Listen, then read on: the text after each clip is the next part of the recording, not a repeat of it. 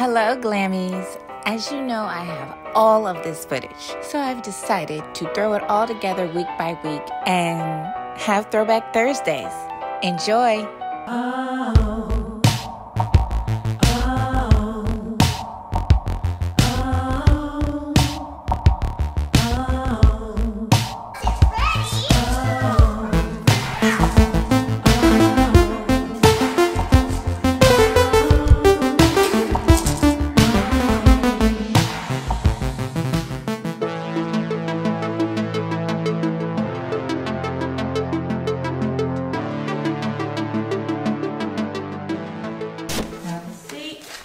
I can make a sword and a um and a paper airplane.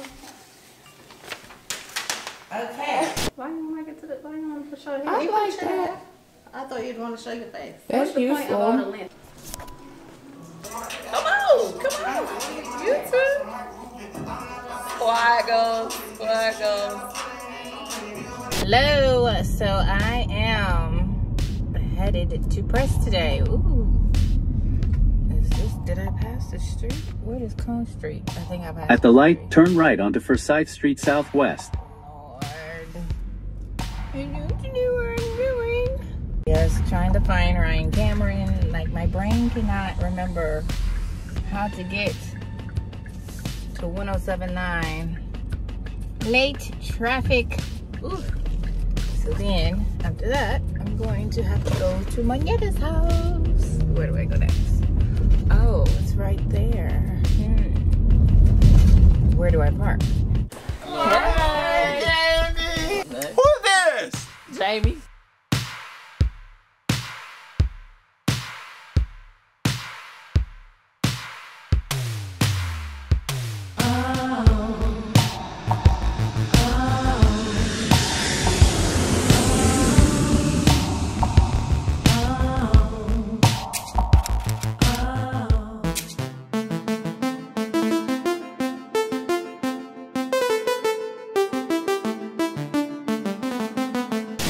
Okay, let's do this room tour at the Wynn. Here is the closet, a large mirror, and you come in, come around. There is the TV. Right here, we have a bar with the glasses. Okay, is this open? What's in here? We have a fridge the op- uh, bar not open. Gonna peek out in a minute. So come back around.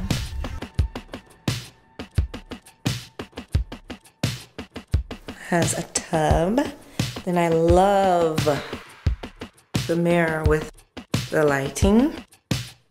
Giving me vintage style. Yes, this is super cute. I'm loving it. Now let's check out the view. How do we open the view? Drapes. Oh. Okay. Okay. Got a nice little view. Not too shabby.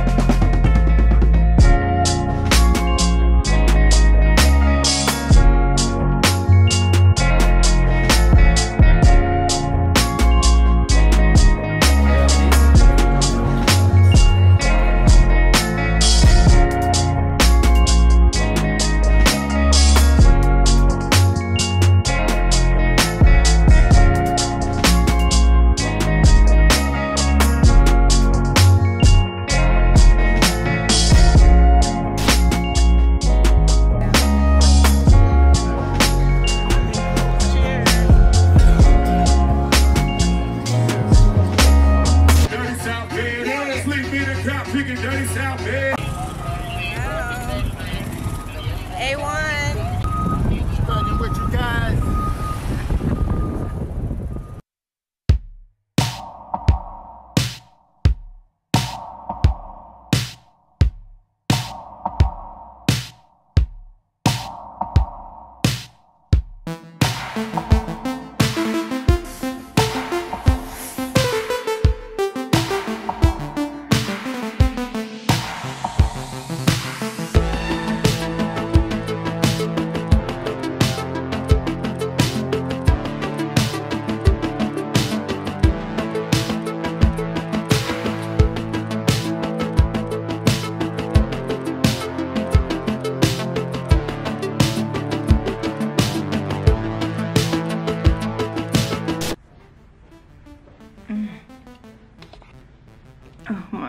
Gosh.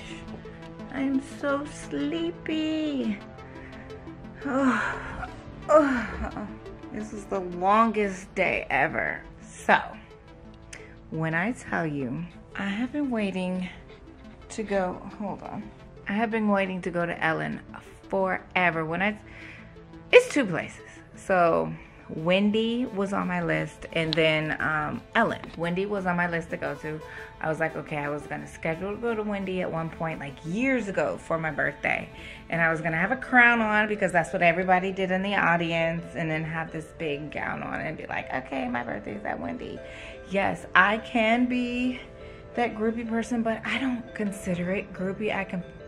It's like more festive with Ellen. I became a fan maybe like six, seven years ago. Like I was hooked on Ellen, and it's more about the stories at the end, the sad stories. And I don't even want to consider them sad stories. It's more stories of motivation, people that want to help people, people that are good people, and it's just like the the feel good stories that you need in life and you need to hear, and you're just gonna cry and have a moment with them. And so that's when I got hooked on Ellen. So I said I was going to make my way to Ellen. Me and my bestie were like, okay, we're gonna go to Ellen.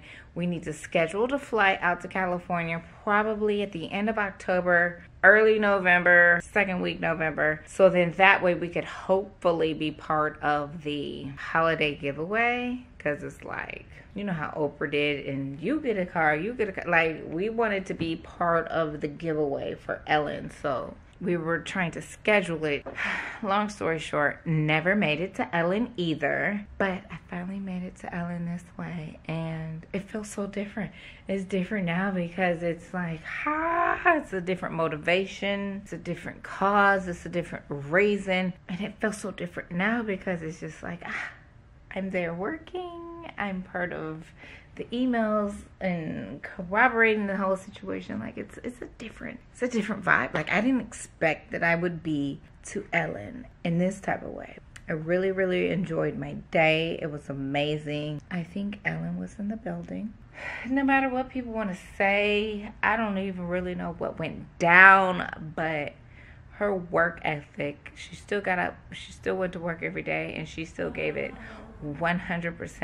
And hey, I am not here to judge it. I, I loved it. I love it. I love, I love everything about it. I am an Ellen fan. And just like Wendy, oh, I don't want to cry. I had been waiting forever to go, and then I'm going when it's at the end, and she is not there. And just like Ellen, I had been waiting forever to go.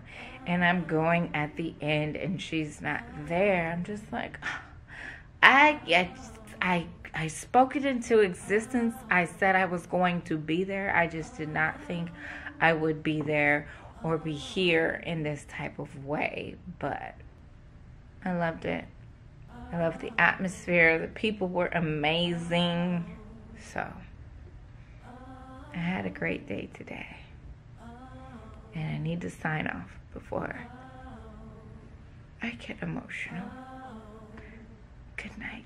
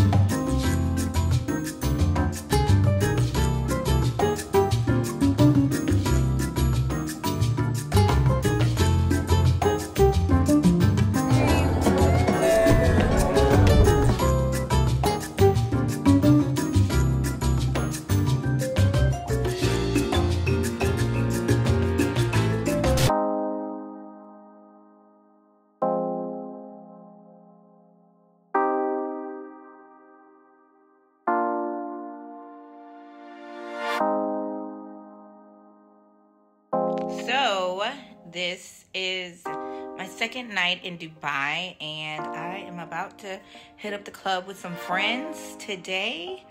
I did not have to work. I told myself I was going to go on a vacation in June, and I'm finally doing it. I have not been on one since last September, my birthday.